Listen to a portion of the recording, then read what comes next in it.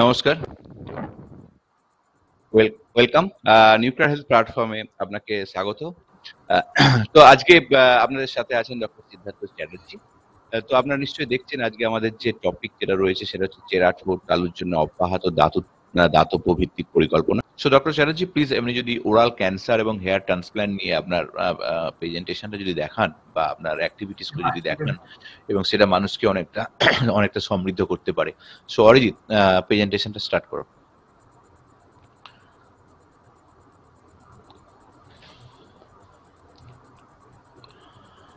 আপনাদের প্রশ্ন থাকলে অবশ্যই প্রশ্ন করবেন। আমরা কিন্তু শেষের দিকে সব প্রশ্নগুলোকে অ্যাড্রেস করব। লাস্ট টেন মিনিট আমরা কিন্তু প্রশ্নগুলোকে অ্যাড্রেস করব। আমরা রেখেছি। মৃণাল মিত্র তোমার প্রশ্নটা নিশ্চয়ই নেব। তার আগে আমাদের যে প্রোগ্রামটা রয়েছে ওরাল ক্যান্সার উনি হেয়ার ট্রান্সপ্ল্যান্টও করেন। তো সেই নিয়ে আমরা একটু কথা বলব। উনি আজকেই হেয়ার ট্রান্সপ্ল্যান্ট করে এসেছেন আমার সঙ্গে যখন প্রথমে কথা হচ্ছিল, বলছিলেন। So that's really great thing যে এমন একজন সার্জেনকে আপনারা পাচ্ছেন আজ সামনে। যিনি একাধিক ফিল্ডে কিন্তু বিশালভাবে এক্সপার্ট এবং এগুলো এই ধরনের এক্সপার্ট সার্জেনের সাথে ডিরেক্ট ইন্টারাকশন আপনারা করছেন। তাই আপনাদের থাকলে প্রশ্ন তো আমরা এখন ওরাল ক্যান্সারের উপর একটু ফোকাস করছি। ওরাল ক্যান্সারটা আমরা অনেক সময় ইগনোর করি বুঝতে পারি না। অনেক সময় যেটা আমরা যখন জানতে পারি সেটা লেট হয়ে যায়। তো সেক্ষেত্রে আমাদের অ্যাওয়ারনেসের দরকার আছে যে আমাদের কি কি সিমটম থাকলে অনেক সময় যেটা ক্যান্সারের দিকে যেতে পারে বা আমাদের সেটার জন্য একটু পরীক্ষা, নিরীক্ষা করা প্রয়োজন যাতে করে মানুষ আর্লি ফেজ অফ ক্যান্সারটাকে ধরতে পারে। সেটা খুব ইম্পর্টেন্ট কারণ প্রিভেন্টিভ মেজার হচ্ছে আগামী দিনের আমাদের বেঁচে থাকা। মানে বেঁচে থাকা মানে আমাদের লাইফটাকে কতদিন বাঁচিয়ে রাখব রাইট কতদিন আমরা লড়াই করে টিকে থাকব। যেমন এখন করোনার এগেনস্টে আমরা লড়াই করছি রাইট লড়াই করে ডিফেন্স করছি আমরা। ভ্যাকসিনেশন প্রোগ্রাম নিচ্ছি, আমরা মাস্ক পরছি, আমরা দূরত্ব মেনটেন করছি প্রিভেন্টিভ মেজার নিচ্ছি যাতে আমরা করোনার বিরুদ্ধে প্রতিরোধ গড়ে তুলতে পারি। তেমনি আমাদের এই ক্যান্সারের ক্ষেত্রেও আমরা অনেক ছোট ছোট জিনিস ওরাল ক্যান্সারের ক্ষেত্রে আমাদের শরীরের আদার বহু ক্যান্সার আছে। ঠিক আছে? আমরা আজকে স্পেশালি ডিসকাস করছি ওরাল ক্যান্সারের কিছু পার্ট নিয়ে এবং যেখানে আমাদের অনেক কিছু জানা দরকার যে যে কি কি থেকে ওরাল ক্যান্সার হতে পারে বা কি সিমটম দেখলে আপনারা ইমিডিয়েটলি ডাক্তারের সাথে কনসাল্ট করবেন এবং সেই অ্যাওয়ারনেসটা কিন্তু দরকার। আমরা অনেক ইগনোর করি, বহু জিনিস আমরা ইগনোর করি লেট ফেজে যাই এবং সেখানে কিন্তু আমাদের লিমিটেড ক্যাপাসিটি তখন থাকে মেডিকেল শাস্ত্রের লিমিটেড ক্যাপাসিটি থাকে, তখন কিন্তু আমাদের লাইফ লাইফটা এই যে লাইফের ডিউরেশনটা অনেক সময় কম্প্রোমাইজ হয়ে যায়।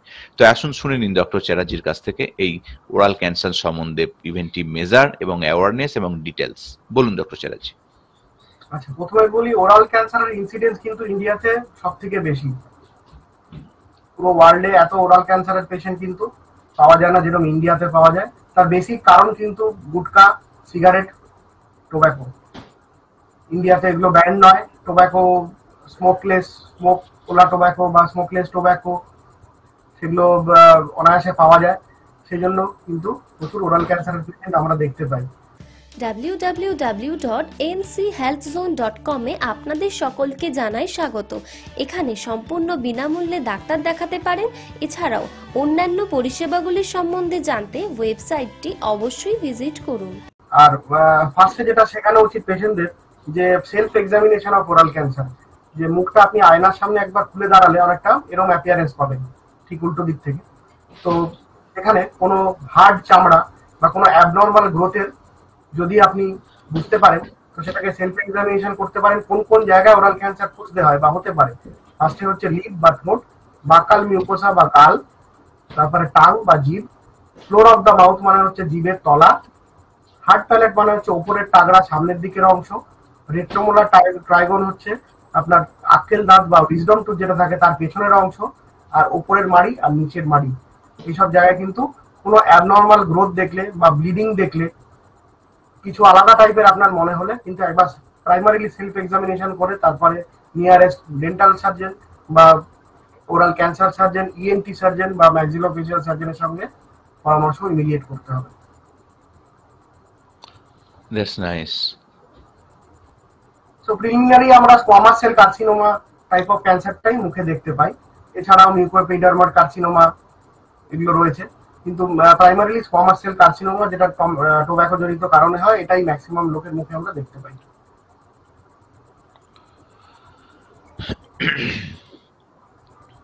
আর ইটিওলজি বা কি থেকে হয়, আমি আগেই বললাম টোব্যাকো স্মোকিং স্পিরিট বা অ্যালকোহল পোর ডেন্টাল হাইজিন কোনো সার দাঁত এটা কিন্তু খুব প্রবলেমেটিক জিনিস। অনেকেই খোঁচা নাক মুখের মধ্যে রেখে দেয়, বারবার জিভে ঘষে কিন্তু ক্যান্সার হয়ে যায়। এটা কিন্তু একটু লোকেদের সচেতন হতে হবে ব্যাপার নিয়ে। সুপুরি বা এরকরা নাক।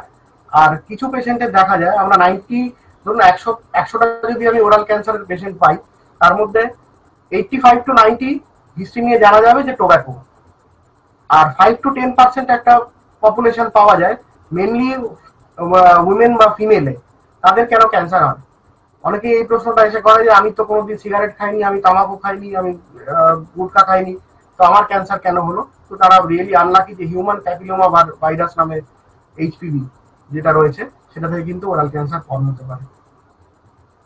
তাহলে এগুলো বেসিক্যালি দ্য মেন কজ যেগুলো কারণগুলো সাধারণত আমরা ইগনোর করি। এই কারণগুলোকে আপনারা ইগনোর করবেন না। এগুলোকে এগুলোকে একটু জানুন।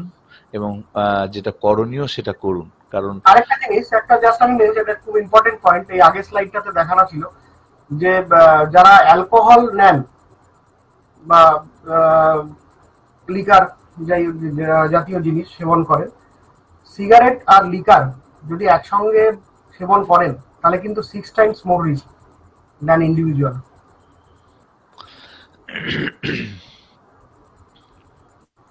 এগুলো তো দেখেই থাকবেন স্মোকলেস টোব্যাকো এই টাইপ অফ মিউকোসাতে যদি ডিসরাপশন পান, তাহলে অবশ্যই সচেতন হতে হবে। আচ্ছা এগুলো হচ্ছে ক্যান্সারের আগের স্টেজ এবার অনেকে কিন্তু এটাকে ইগনোর করে। এই স্টেজটাকে ইগনোর করলেই কিন্তু ম্যাক্সিমাম লোক ক্যান্সার নিয়ে ফেরত আসেন। এটাকে প্রিম্যালিগনেন্ট লিশন বলে। এগুলো কিরম দেখতে হয়? গালের মধ্যে কোনো সাদা ভাব বা সাদা চামড়া গজানো ঠোঁটের পাশে বা জিভের পাশে সাদা রকমের চামড়া গজানো বা মুখটা হার্ড হয়ে যাওয়া, এই যে লাস্টে লেখা আছে ওএসএম এর এটাকে বলে ওরাল সাবমিউকাস ফাইব্রোসিস মুখটা ছোট হয়ে যাওয়া আস্তে আস্তে। যারা দেখবেন প্রচুর দিন ধরে গুটখা খায়, তাদের কিন্তু মুখটা আস্তে আস্তে ছোট হয়ে গেছে। হা মুখটা কিন্তু নর্মাল বাড়ে না। বা আমাদের নর্মাল একটা মানুষের তিনটে ফিঙ্গার যেভাবে ফিঙ্গারটা ঢোকাচ্ছে মুখের মধ্যে, তিনটে ফিঙ্গার কিন্তু নর্মালি ঢুকে যায়। এবার যখনই দেখবেন যে আপনার দুটো ফিঙ্গারকে একটা ফিঙ্গার ঢুকছে, তখনই কিন্তু মেনলি কারণ হয় গালটা স্টিফ হয়ে যায়, গালে ইলাস্টিসিটি চলে যায় গুটকার জন্য বা টোব্যাকোর জন্য। তখনই কিন্তু এইটা এই কন্ডিশনটাকে না ট্রিট করলে এটা কিন্তু গালের ক্যান্সারে পরিণত হয়। কি কি সিমটম দেখলে আপনারা ওরাল ক্যান্সার সাসপেক্ট করতে পারেন? একটা আলসার মুখের মধ্যে যে কোনো জায়গাতে যেটা চোদ্দ দিন হিল করে না। নর্মালি কিন্তু একটা ছোট আলসার হলে চোদ্দ দিনের মধ্যে হিল করে যায়, যদি ভিটামিন ডেফিসিয়েন্সির জন্য অ্যাপটাস আলসার হয়। বাট এই আলসারটা কিন্তু দেখবেন যে চোদ্দ দিনের বেশি রয়েছে। কিছুতেই বডি হিল করাতে পারছে না। তখন কিন্তু সচেতন হতে হবে। কোনো অ্যাবনর্মাল মাস কোনো গলায় নেক সোয়েলিং বা কোনো দাঁত যদি নড়ে যাচ্ছে হয়তো কারণে দাঁত নড়ে যাচ্ছে, কোনো কারণ নেই আপনি ভালো ওরাল হাইজিন মেনটেন করছেন কিন্তু তাও দাঁত নড়ে যাচ্ছে? আর কোনো সময় যদি কোনো ভয়েস চেঞ্জ বা ভয়েস মডিউলেশন হয় হোর্সনেস হয়, তখন কিন্তু একটা সচেতনের ব্যাপার। আর ক্রিসমাস মানে হচ্ছে মুখ ছোট হয়ে যাওয়া বা মুখ খোলা যায় না। এইসব যদি নোটিস করেন সিমটমসগুলো, তখন কিন্তু একটু আপনাকে কোনো ক্যান্সার সার্জনের সঙ্গে দেখা করতে হবে ইমিডিয়েটলি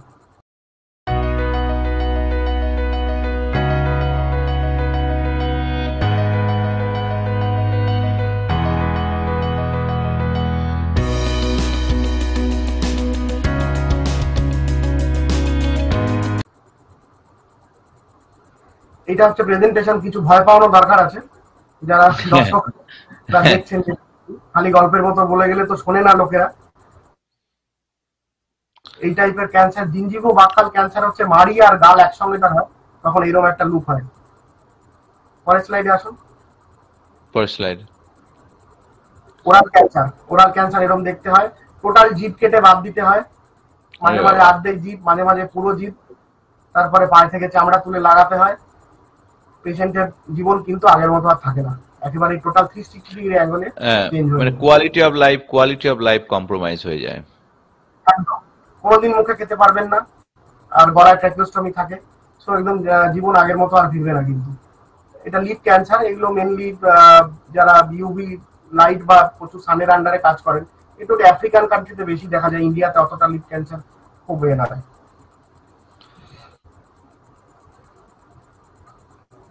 এটা হচ্ছে গালের ক্যান্সার এরকম ভাবে প্রথম, প্রথমে, প্রথম স্টেজে কিন্তু এরকম ভাবেই দেখা যায়, প্রথম ছবিটা যেটা। কিন্তু লেটার স্টেজে কিন্তু গাল একদম ভেদাভেদ করে বাইরের দিকেও চলে আসে ক্যান্সার তখন কিন্তু অপারেশনের টাইম অনেক বেশি, খরচা অনেক বেশি, আর আউটকামও ভালো নয়।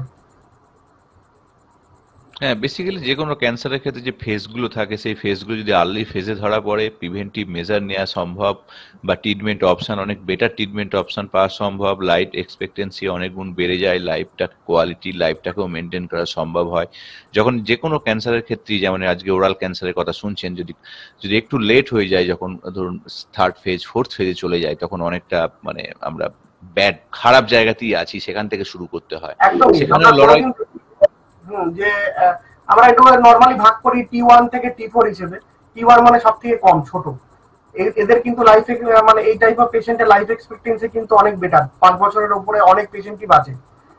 কিন্তু ওয়ারে দেখেছি টি ফোর লিশন নিয়ে যারা আসে টি ফোর বা তার থেকে বেশি বড় লিশনগুলো নিয়ে তারা কিন্তু লাইফ এক্সপেক্টেন্সি ছ মাস থেকে এক বছর। অলরেডি টি ফোর যখন নিয়ে এসছে সেই পেশেন্ট আর ক্যান্সারটা কিন্তু শরীরে অন্য কোথাও অলরেডি কিন্তু ছড়িয়ে গেছে। আমরা জাস্ট গতানুগতিক ট্রিটমেন্ট ছাড়া আর কিছু করতে পারি না। So that's the good thing আপনারা সচেতন হন আপনারা সচেতন হন বলতে এই কারণে যে কোনো রকম কোনো রকম অ্যাবনর্মাল কিছু দেখলে যেমন বললেন ডক্টর চ্যাটার্জি যে আপনারা নিজেরা কি করে আইডেন্টিফাই করবেন? ছবিগুলো এটা দেখবেন আমাদের এই যে এত এত সুন্দর একটা আলোচনা করা হচ্ছে এটা আপনাদের কিন্তু অ্যাওয়ারনেসটাকে নিয়ে আসার জন্য। এবং সেই অ্যাওয়ারনেসটাই যারা স্মার্ট তারা কিন্তু দেখছে। যারা যারা যারা শুধু মানে কি বলব, যারা শার্প করতে ভালোবাসে, তারা কিন্তু এত সময় দিয়ে দেখবে না। ফেসবুকে অনেকে শুধু শার্প প্লেয়ার থাকে।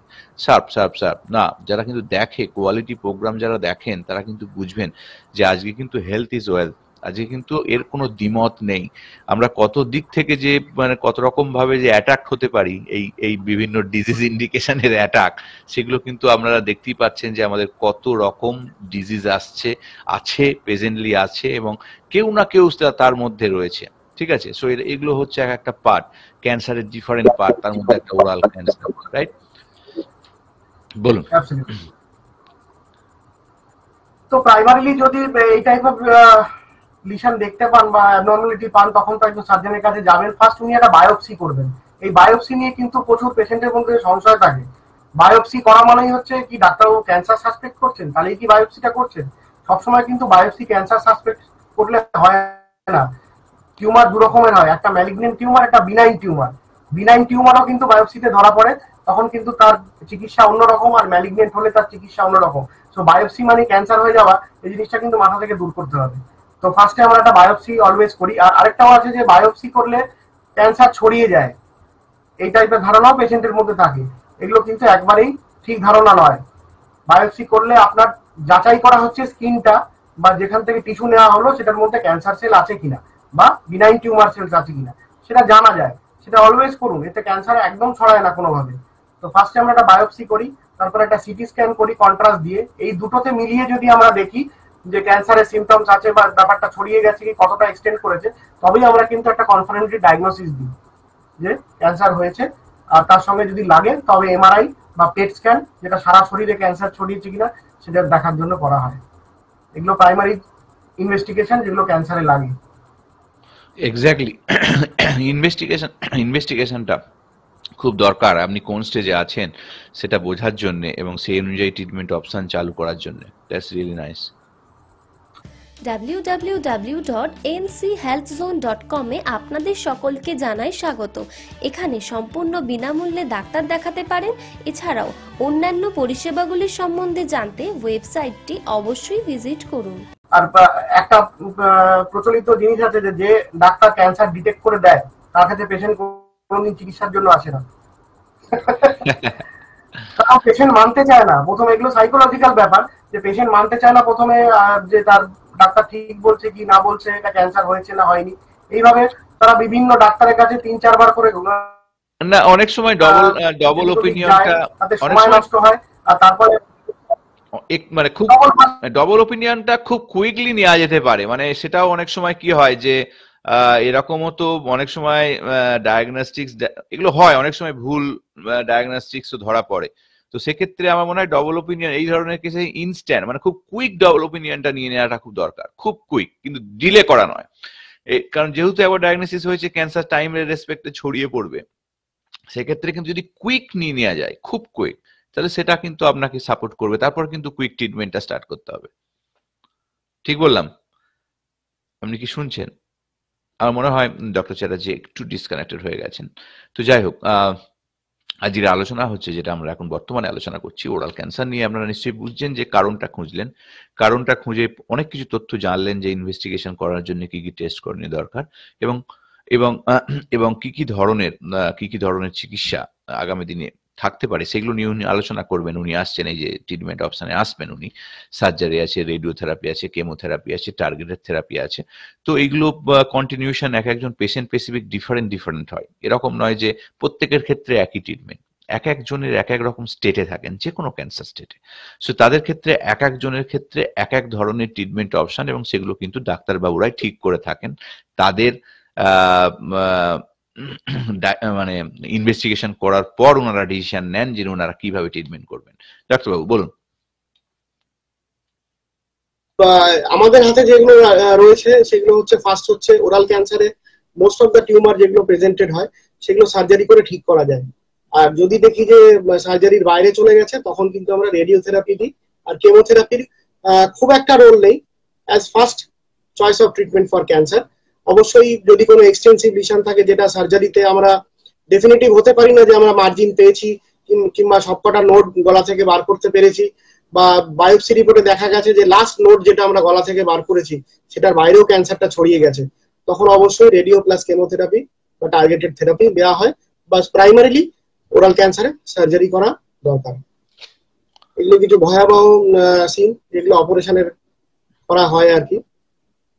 পেশেন্টদের অ্যাডভান্স স্টেজে বা প্রাইমারি স্টেজে গাল, চোয়াল, ওপরের চোয়াল, জিভ, এগুলো সবই বাদ চলে যায়।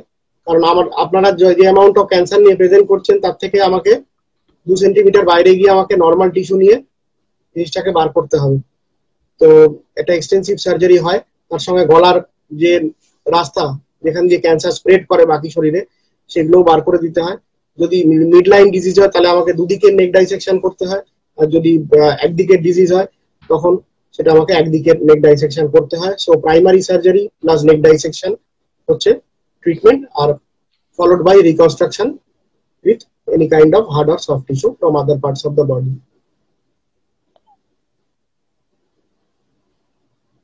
yeah so আপনার এই ছবিগুলো দেখে ভয় পেয়ে যাওয়ার মতোই, কিন্তু ঘটনা হচ্ছে যে যে আমাদের যখন এই ধরনের যারা ডিজিজ ইন্ডিকেশন ইন্ডিকেশন যাদের ধরা পড়ে, তাদের লাইফটা ইজ রিয়েলি হার্ড সেই জন্য প্রপার জায়গায় ট্রিটমেন্ট করানোটাও যেমন দরকার প্রপার এক্সপার্টাইজ যাদের আছে তাদের সাথে যোগাযোগ করা দরকার, যেমন সার্জেন বলুন বা যারা ক্লিনিক্যালি এক্সপার্ট যারা অঙ্ক লজিস্ট বলুন, অঙ্ক সার্জেন বলুন বা স্পেশালি স্পেসিফিক স্পেসিফিক ফিল্ড কেউ ওরাল ক্যান্সার সার্জেন কেউ আদার ক্যান্সার সার্জেন সেই কানেকশনটাও কিন্তু আপনাদের বুঝতে হবে যে কাদের কাছে যাব, কারণ আবার কত তাড়াতাড়ি যাব। আমাদের যদি কেউ ক্যান্সার ডায়াগনস্টিক যারা ধরা পড়েন, ধরুন প্রথমে ধরা পড়লেন, সঙ্গে সঙ্গে যদি আপনারা ডবল কিছু ইন্ডি মানে নিতে চান, ধরুন আপনারা নিতে চাইছেন ডবল একটা সেকেন্ড ওপিনিয়ন নিতে চান, নিন কুইক কিন্তু you have to act quick মানে বেসিক্যালি প্রোগ্রেশনটা খুব ফাস্ট হয়, যদি লেট ফেজে থাকে তো খুব ফাস্ট হয়, আর যদি প্রথম দিকের ফেজ জিরো বা ফেজ ওয়ানে থাকে, সেটাও কিন্তু প্রোগ্রেশন একটা আস্তে আস্তে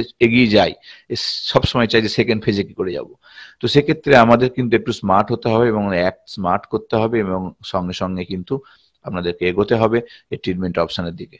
বলুন ডক্টর এখন তো ওয়েস্ট বেঙ্গল সরকার খুবই আপনাদের জন্য সুবিধা করে দিয়েছে যে স্বাস্থ্য সাথী বা ওয়েস্ট বেঙ্গল হেলথ স্কিমের মাধ্যমে total free of cost private hospital Eko HCG cancer centre হচ্ছে টাটা হসপিটালের পাশে অবস্থিত।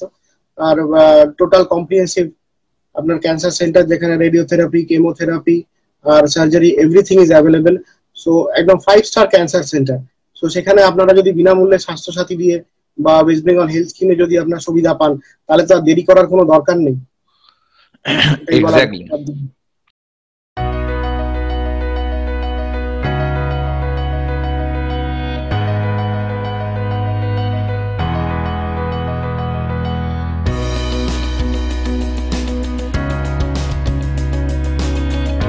এক্স্যাক্টলি তো এই যে সাতশো সাথী এটা এটা যে মানুষের বিশাল কাজে আসছে, আজকের প্রেজেন্টেশন দিয়ে কিন্তু আপনারা বুঝতেই পারলেন। তো ঘটনা হচ্ছে, আপনারা আমাদের কার্ডটা যত্ন করে রেখে দিন। কোনো রকম কোনো প্রশ্ন থাকলে আগামী দিনে আমাদের নিউক্লিয়ার হেলথ হাব এলএলবি কে কোশ্চেন করবেন, আমাদের সাপোর্ট টিমের কথা বলবেন। আমরা মেডিকেলি অনেক জায়গার সাথে কানেক্টেড হচ্ছি, যেগুলো আপনাদেরকে আপনাদেরকে সঠিক জায়গার প্লেসমেন্ট মানে খুঁজে দিতে সাহায্য করব, সঠিক ডাক্তার খুঁজে দিতে সাহায্য করব।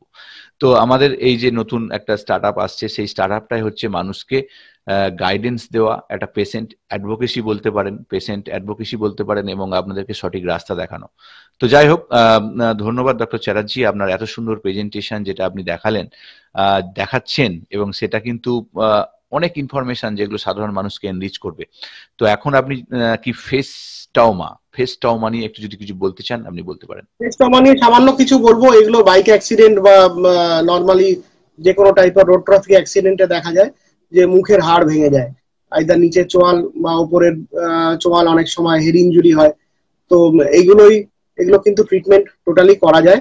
প্রোভাইডেড যে পেশেন্ট আমাদের কাছে টাইমে নিয়ে আসে। তো এটা একটা মাল্টিডিসিপ্লিনারি নিউরোসার্জন প্লাস ম্যাক্সিলোফেশিয়াল বা ইএনটি এরা তিনজনের তিন type of surgery facial trauma operation করতে পারে কিছু ছবি যদি আমরা দেখতে পারি পরের স্লাইডে তাহলে, এই টাইপ অফ যদি ইনজুরি হয়, তারও কিন্তু ট্রিটমেন্ট টোটালি পসিবল নিচের হাড় ভেঙে গেছে পেশেন্টের